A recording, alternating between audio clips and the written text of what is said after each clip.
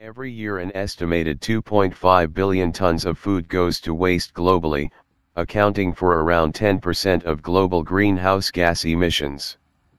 This wasted food takes an area of land roughly the size of China and India combined, to grow.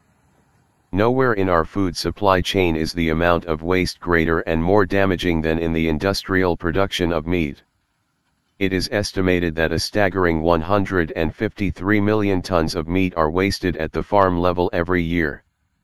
Coupled with horrifically high livestock mortality rates caused by poor standards of animal husbandry, among other factors, this waste represents not only a moral catastrophe but an environmental disaster. And this is only one part of the problem. Currently, more than one-third of the calories produced by the world's crops are being used for animal feed, and only 12% of those feed calories ultimately contribute to the human diet, as meat and other animal products.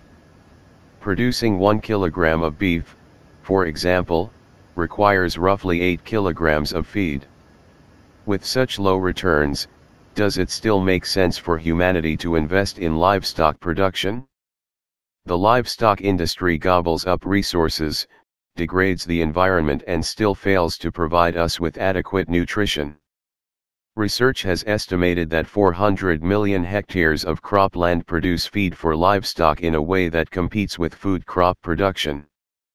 Essentially, we are using large amounts of land to feed livestock that could be used to feed humans.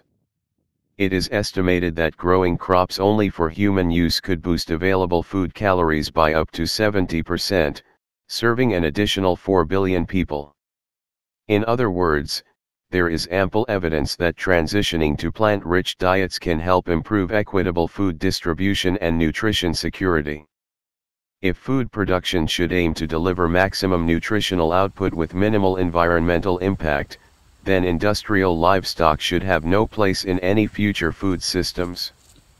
The livestock industry is vast, there are 23 billion chickens, 1.5 billion head of cattle, 1.2 billion sheep, 1 billion goats and 1 billion pigs living on factories and farms worldwide. This means that humans and the animals we grow for food account for 96% of the mammal biomass, with wildlife accounting for only 4%.